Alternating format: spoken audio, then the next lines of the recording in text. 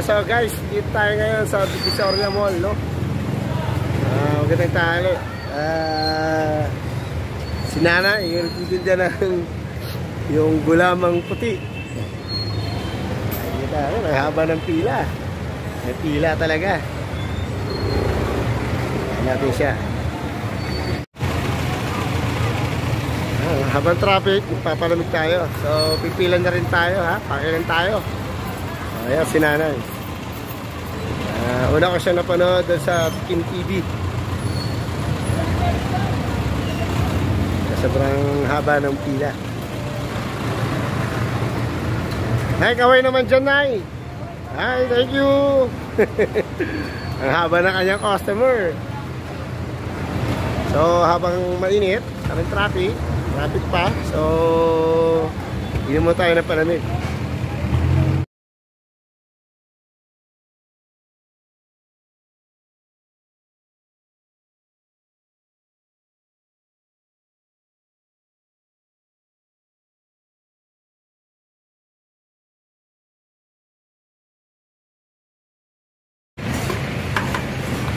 Yan ang magic ni nanay. Magic ni nanay na pinipilahan. Mamawi sa init.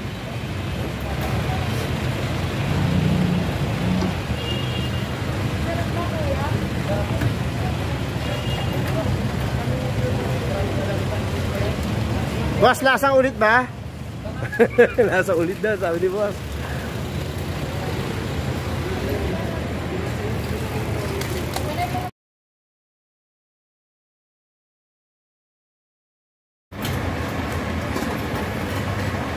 So sabi ni nanay kanina, dito lang si Kuya Kim. Pumunta daw at in-interview siya. Marami mga newscaster na rin, mga television na nagpupunta rito para interview si nanay.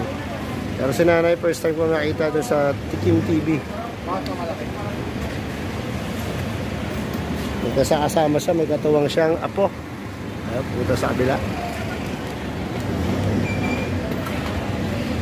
Nasa kaldero yata yung magic ni nanay eh. Alam sa kaldero.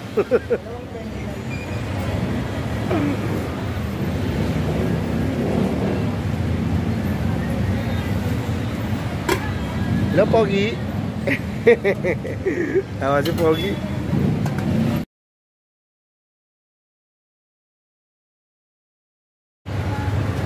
Plastic po kami, Nay. Dalawa rin po ganun, Nay.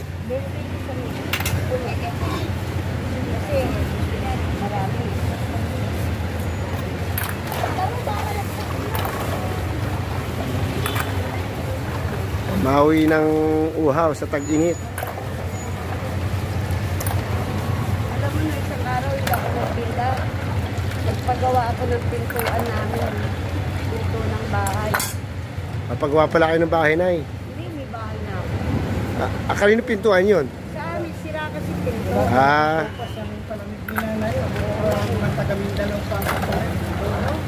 kami galing po kami Laguna. Binyan po. Dumayo pa kami rito para dayuhin yung tubig. Ay, maraming salamat na ya.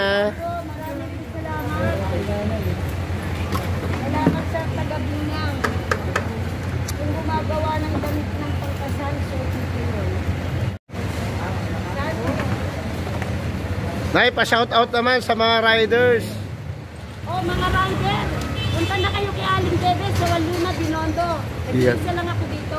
Marami pong salamat. Ang sarap po ng kanyang palamig. Salamat po, Nay. Thank you.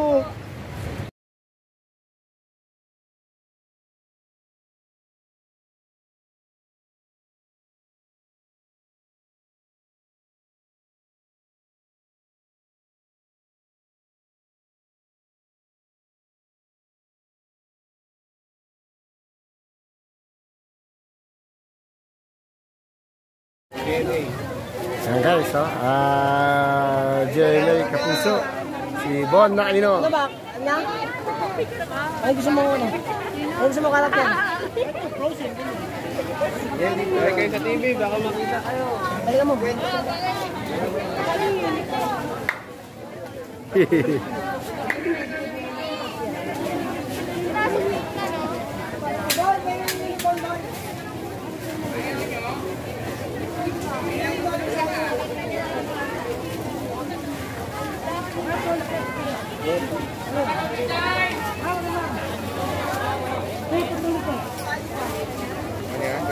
Bisaya Mall.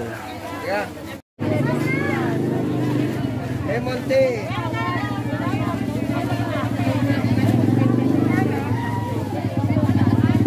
Ma'am Bon! Kaway naman, ma'am! Kaway man lang!